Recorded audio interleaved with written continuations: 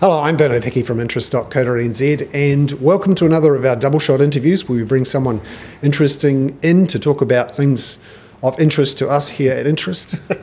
and we have Grant Robertson, the Labour Party's finance spokesman, here to talk about the economy and interest rates. We love talking about interest rates.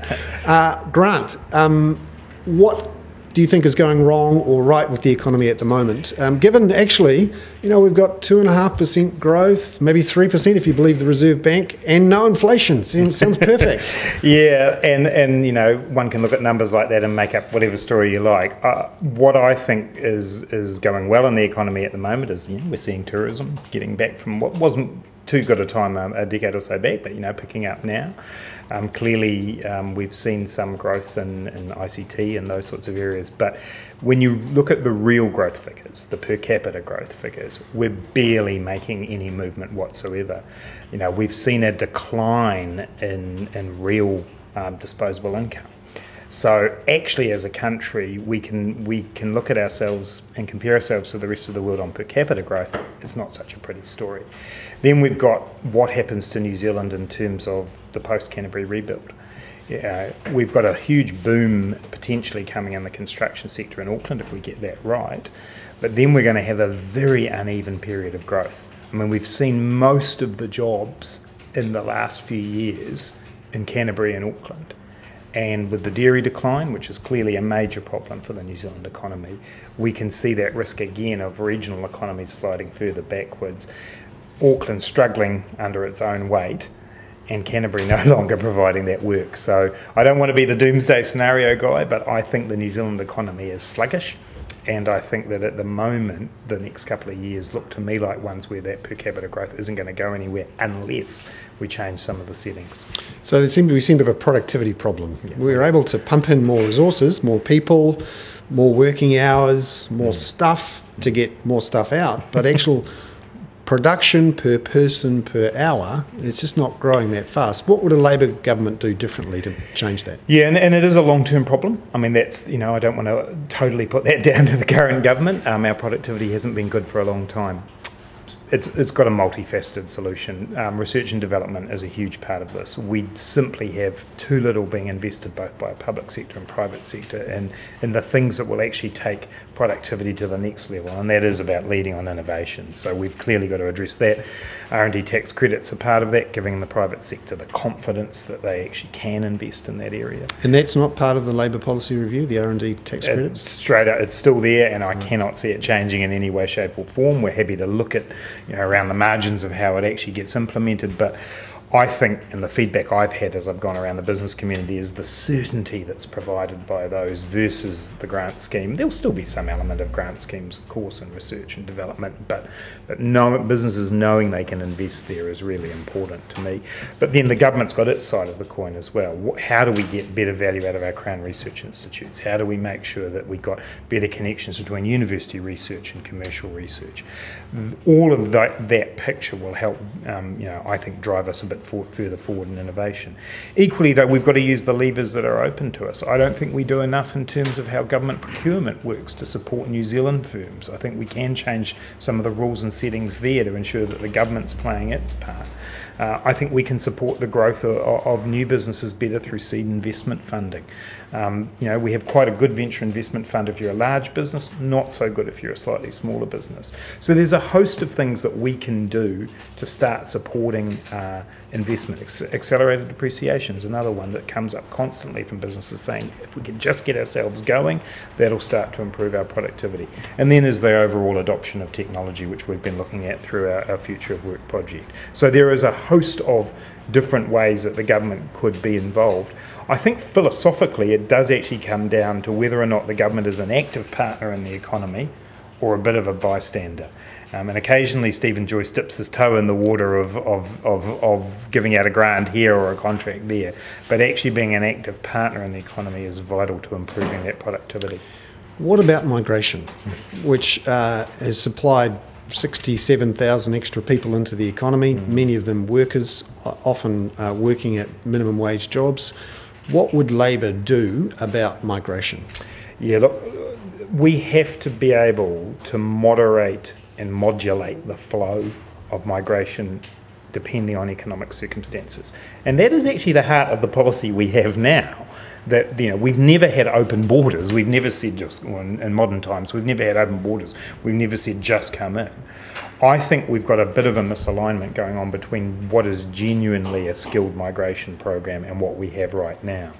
And we also have the huge number of international students coming in, and that number is that 67,000 number is being propped up by an ever increasing number of international students. I want to know that they're here for good quality programs, um, and I think there's a bit of work to do in there. So Would Labor look to reverse that change from October 2013, where it allowed foreign students to work during yeah. term time? Um, I think we would want to have another look at that. Uh, I'm not convinced that, that we can say no work at all, because for some people, even as an international student, that is an important part of being able to be here. But I think extending those hours out has clearly um, seen seen more people come. I'm more worried about the courses that are actually just straight out fronts and are not in fact about quality education at all, but are actually about people coming here to work. Which ones? Well, there are some courses the NZQA has been looking at, and, and I think there may be more to come in that area.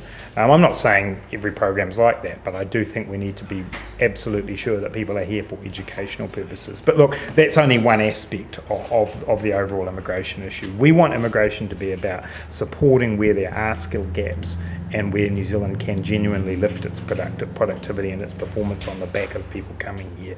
That will mean from time to time being a bit more careful and a bit more um, sophisticated with the kind of um, policy settings we've got in the immigration area.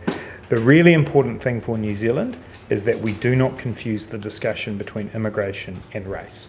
When we do that, we lose the ability as a country to have the conversation we need to have. They are two separate issues. Uh, the other um, topic at the moment is interest rates, uh, and particularly the Reserve Bank surprise cut um, on March the 10th. Uh, um, what do you think about the Reserve Bank's performance versus its policy targets agreement? Well, it's clearly not meeting its policy targets agreement, and I have said on a number of occasions now that that now needs to be reviewed. Uh, there is no point in having a, a target or a midpoint that you don't even look to meet over the so-called medium term. The redefinition of the medium term is one of the great you know, changes in, in, in, in nomenclature and monetary policy. We, we, you know, we've got um, Bill English and Graeme Wheeler both saying that this is monetary policy is set for how you control inflation, not how you pump it up. Um, well, if that's a problem, and it looks like it's a reasonably long-term problem, then we've got to relook at monetary um, policy to be able to say how do we use it to not only control inflation but support overall monetary policy, which from time to time may see you wanting to pump inflation up a little bit. If you to answer your question about the performance of the bank, look, I think there is a real concern here that we're a bit behind the eight ball. Everybody knows there's another cut coming this year. There might be a second one after that. Um, we're not, you know, we're not successfully lowering the value of the dollar through these cuts. There's small, you know, small dip in the exchange rate that got pumped straight back up again a week later. So there are problems with our settings in monetary policy, and we do need to relook at it. So what would a policy targets agreement under yeah. a Labor government? You'd be if you were finance minister, you'd be the one signing the. Yeah, and, and, and look, you know, we've got to sit down and talk that through with the Reserve Bank governor. I, I am still a supporter of an independent monetary policy. I think I think that, that the government can help create these settings, but in the end, we, we are well served by, by the independence of the Reserve Bank. So it will be a, a genuine conversation. I've said often before, I think it is possible for the Reserve Bank to have a mandate beyond just controlling inflation. I think if it had had a mandate around employment, we wouldn't have seen the rates go up when they did, and we might have seen them come down a little bit quicker. So I've been clear before I'd like to see something like an employment based or an overall health of the economy based target included within the PTA. On inflation itself, you know, this is where we've got to sit down and have a genuine conversation with a range of experts involved about what is the future of inflation. Um, it's a big topic, and I know the Reserve Bank governor is concerned about it himself. So you know, there would be some change. I could see a broadening of the criteria, and we do have to look at how we how inflation is measured and what it means in the economy. So the Reserve Bank could cut interest rates, do whatever it wants, and then the banks might not pass it on. So what, what do you think the bank should do about well- it? Because well, they haven't passed on all of the No, they have not. Although they were very, very quick to cut um, savings rates. So um, clearly, on that side of the ledger, they responded quickly. Look, that is, you know, it was the Reserve Bank governor who said very clearly at the Parliamentary Select Committee I was at that he expected the rate to be passed on, the rate cut to be passed on. It wasn't. I understand that there's been an increase in the cost of borrowing overseas for banks, but I also don't think that that increase um, legitimises not passing on the cut, and it does start to neuter the value of monetary policy. Uh, that's a conversation for, for me as finance minister to have with the Reserve Bank governor as well. Is does he have the tools in his toolbox that makes him comfortable that, that the value of him of him setting an official cash rate uh, is still there, and we'll have that conversation. But that's not.